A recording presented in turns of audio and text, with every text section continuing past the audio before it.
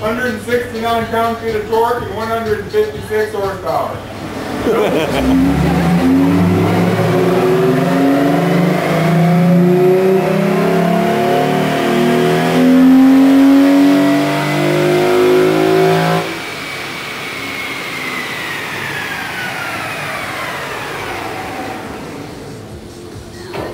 Went down just one pound foot to 168 pound feet of torque and 155 horsepower.